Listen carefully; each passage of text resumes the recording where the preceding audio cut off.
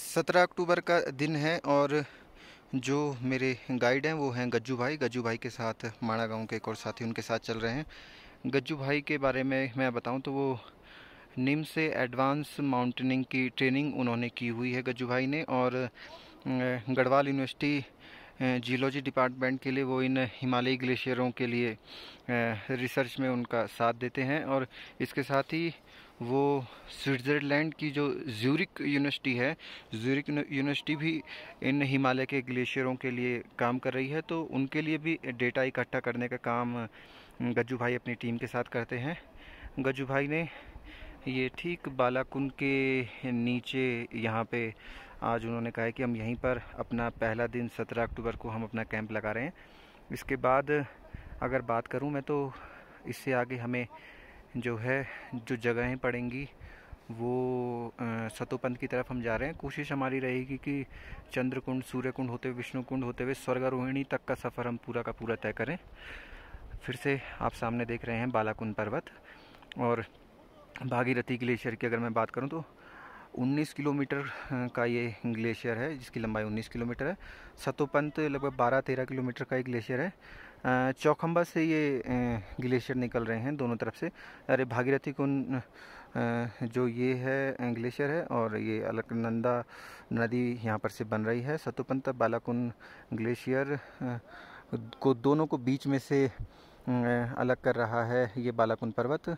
और ठीक इसके बैक साइड में हमें कल सहस्त्र धारा दिखाई देगी, जहाँ सौ धाराएँ एक साथ तपोवन सहस्त्र धारा नीलकंठ से होते हुए वो धाराएँ निकलती हैं। नीलकंठ पर्वत जो ठीक बद्रीनाथ के पीछे आपको दिखाई देता होगा, हिमालय का पर्वत, लगभग 6500 मीटर उसकी ऊंचाई है।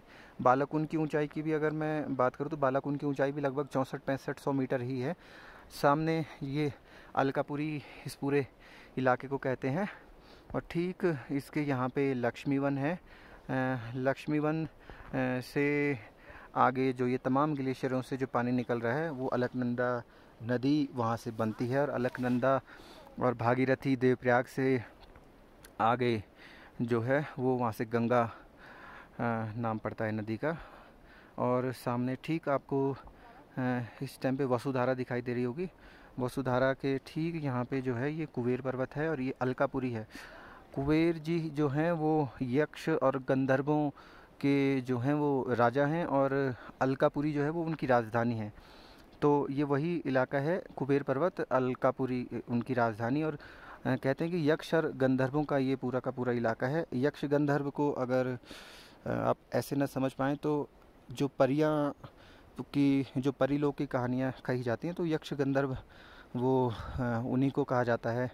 हिंदू जो माइथोलॉजी शास्त्रों के हिसाब से और ठीक उधर कहीं पीछे हम बद्रीनाथ को पीछे छोड़ आए हैं माणा गाँव से होते हुए हम माणा गाँव के ठीक अपोजिट से सहस्त्रधारा के अपोजिट से होते हुए हम यहाँ पे पहुँचे हैं। और काफ़ी खूबसूरत दो बुग्याल भी रास्ते में पड़े थे। रास्ता जो है वो यहाँ पे से लक्ष्मी वन के बाद से काफ़ी बड़े बड़े बोल्डर हैं, जिन बोल्डरों से होते हुए हमें गुजरना पड़ रहा है। और आगे का रास्ता भी बिल्कुल मोरेन से होते हुए ही गुजरेगा।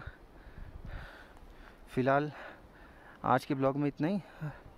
यहाँ जो बालाकुन पर्वत से आगे चक्र तीर्थ की जब हम यात्रा शुरू करेंगे और सतोपंत ग्लेशियर, सतोपंत तक जो हम पहुँचेंगे सतोपंत ताल तक तो कोशिश रहेगी कि हम 18 अक्टूबर को सतोपंत ताल तक हम पहुँचें, ताकि समय से हम नीचे भी आ सकें।